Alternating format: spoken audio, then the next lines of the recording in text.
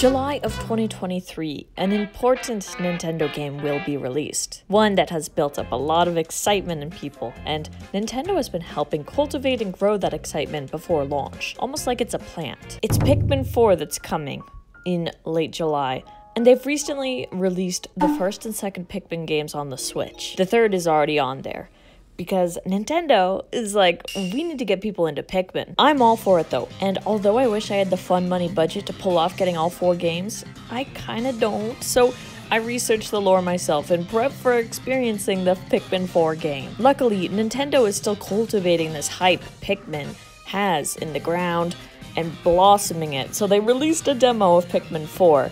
And here's my experience with the perspective of a brand new Pikmin fan please, I'd love to hear your thoughts as well from like the point of view of like a returning fan or if you played the demo, what you thought, anything like that, or whatever. I appreciate all of it. Also, don't forget to like, subscribe if you like the content, and yeah, let me know your thoughts as well. Let's get into this. Immediately, we got some Animal Crossing language type of narration, which I like, going over the icon of the franchise, Captain Olimar or at least the one that kind of started it all. He encounters strange creatures known as Pikmin while he's stranded on a mysterious new planet, and the Pikmin love carrying things. It is innate. Like Olimar just says it's an innate thing, and I believe him because it looks like they were creatures made to carry things, and that's their priority. So far, this aligns with the lore, but Pikmin 4 boldly asked, hey, Let's add space dogs to this game. And so, Olimar is introduced to Moss. Adorable pup from all angles except front facing sometimes because the eyes kinda unsettle me. This whole initial bit is a tutorial town from inside a home and you're gathering stray Pikmin and exploring. It's fun. You're learning the controls. It doesn't take long, however, to come across a creature. I wasn't prepared for the battle music. It's intense. Right off the bat, I was ready to get into it, but sadly, it didn't last very long because this is the very first creature you come across, which means that fighting it will be over quickly. No matter how much you suck, go ahead, run right into the spikes, it's fine. But once this creature is defeated, you can get off Olimar's ship part that has the power to send a distress rescue signal. It was heard.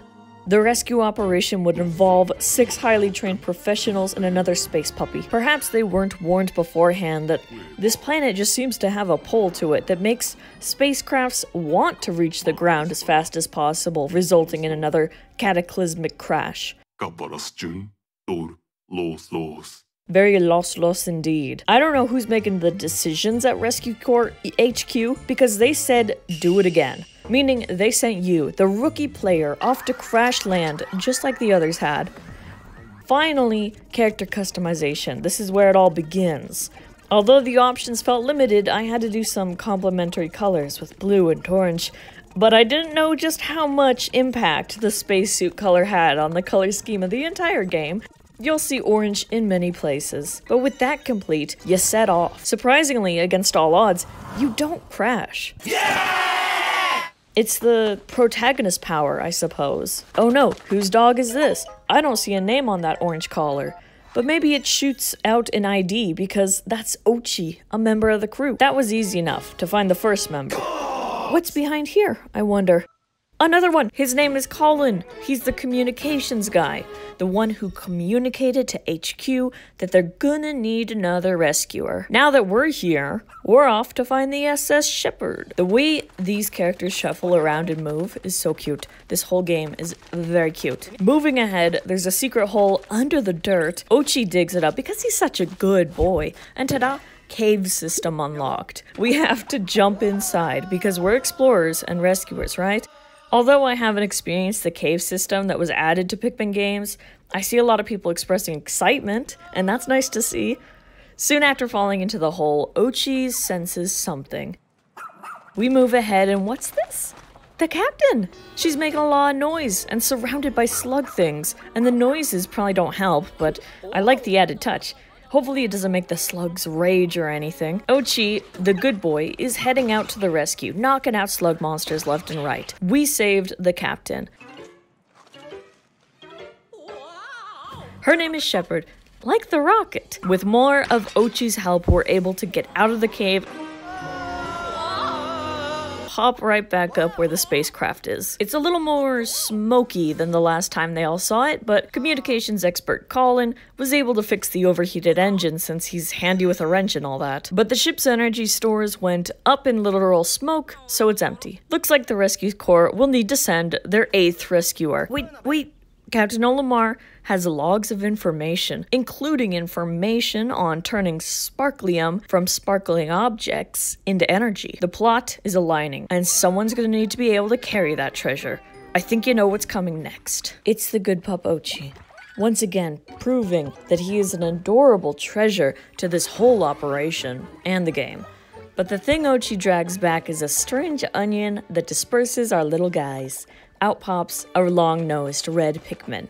Adorable, and about the size Oatchi is. They make fast friends while the captain shakes. The task of cultivating little creatures is clear, and I feel like I'm building an army. I never knew what Pikmin was about, and only thought it was a game about multitasking, but oh, no. Dandori is the game. Finding amazing and detailed treasures and watching Pikmin carry them away is also a huge treat and a huge part of it. I cannot wait to see what treasure lurks throughout the entire game, not just under this limited demo scope. I'm super excited. But once the treasure's collected, gets plopped into the ship, which now has enough energy to survive idly. Surprisingly, that's not the end of the demo.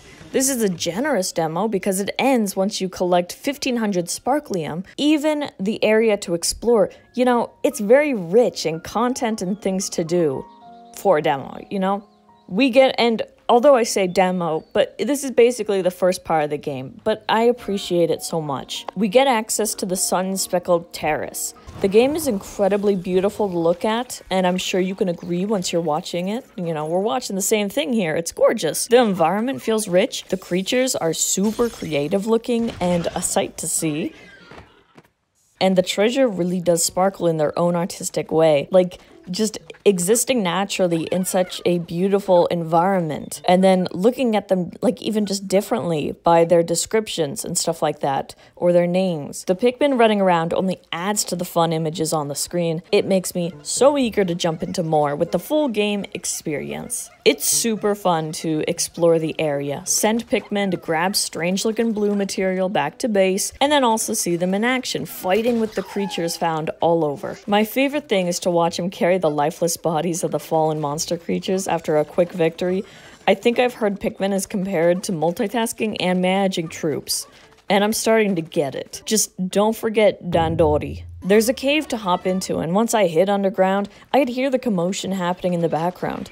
The blue creature thing has a new frost variant, it looks like, and it's blasting some innocent Pikmin. Ice Pikmin are introduced.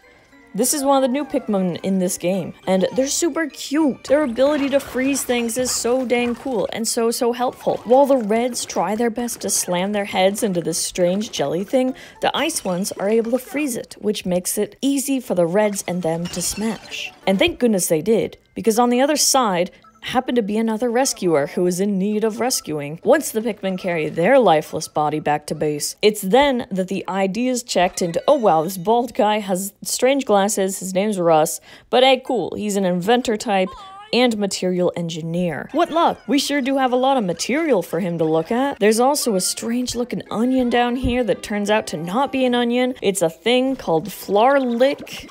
Flarlic. Flarlic which seems to power up the onion. There seems to be a lot of new stuff added to Pikmin 4, so like I said, please tell me your thoughts and experiences as well, especially from, you know, the point of view of a returning player. But hey, the next day, Russ is awake and active, and so is Oatchi, who suddenly grew large overnight, which means that he's capable of so much more, and also able to now ride. This is a highlight of the experience. Being able to ride the space dogs and have the Pikmin cling on to them is such a fun thing to pilot, and an adorable image to watch. There's a lot of cutscenes in this, and they even interrupted my Oatchi rush to let this creature live another one minute, so Collin can say, hey, these stones look weird, and Captain can be like, a Dandori master would want you to steal that thing's territory. And steal we do. Alright, disaster struck right after that because I knew Oatchi could swim thanks to the trailers.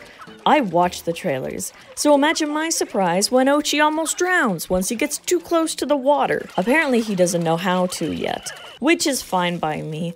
Because it only gives the ice Pikmin and their water freezing ability a place to shine. There's other Pikmin to find, like the ear Pikmin, or sorry, the yellow ones, as Captain Olimar named, and then there's also people. I find another lifeless body and have the Pikmin bring it back, thinking it's another Rescue Corps member that has been rescued, but no, that's a stranger. Apparently, a lot of civilian space travelers have also come to the area once they heard the word treasure in Olimar's account, his, you know, radio signal. So now we have a treasure appraiser, and honestly, that's fantastic. Shanaz is a great loiterer to have around base. The florist is less so. Yeah, there's another lifeless body to revive in one of the underground spots, only to be tricked once again, thinking it was a useful Rescue Corps member, so I'm definitely excited about retrieving more civilians and actual crew members in the full game. The last bit of the demo that got me hooked, not by graphics or charm, like those hooked me as well, but, you know, genuine curiosity about how this plot is going down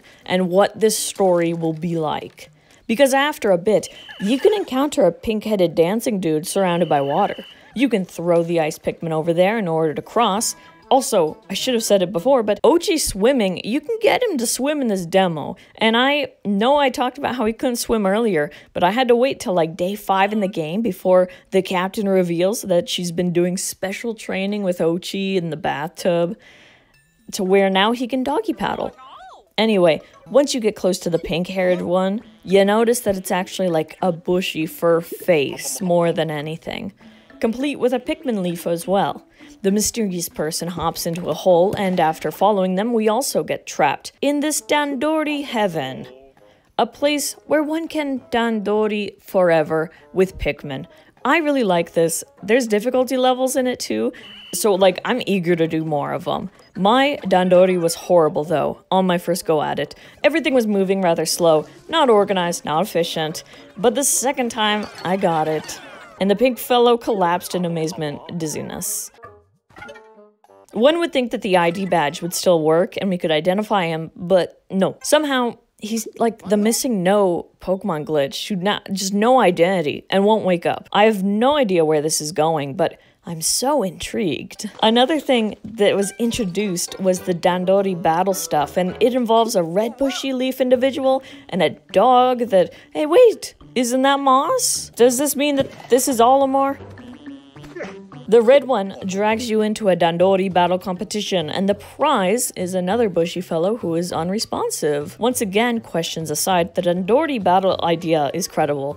I love fighting side by side, stealing from each other, getting aggressive, seeing who can command their Pikmin army better than the other. But even after defeating him, he kind of vanishes, and the purple one is also in possession of an error card. I'm hooked to see who that red Olimar looking guy is, if we're gonna see more of Moss, what this bushy phenomenon is, if we're gonna find Olimar in like a human state, what the other Rescue Corps people look like, you know, how many civilians are out there. There's a lot to get excited about. This demo was pretty generous, like, I think so, and it did a great job in getting me hooked into buying the full game. I intended to anyway, but this only solidified it a bit more, I think. So I'm really thankful for Nintendo for like pushing the hype for Pikmin as well as Arlo. I, you know, I, I can't like say Pikmin without thinking about Arlo. I'd love to hear your thoughts as well. If you're a Pikmin fan, if you also played the demo, if you're new to the series as well, or even your own personal theories and ideas of plot or direction that might come in the full game. I'd love to hear it all. Thank you so much for watching and have a great day. Bye bye.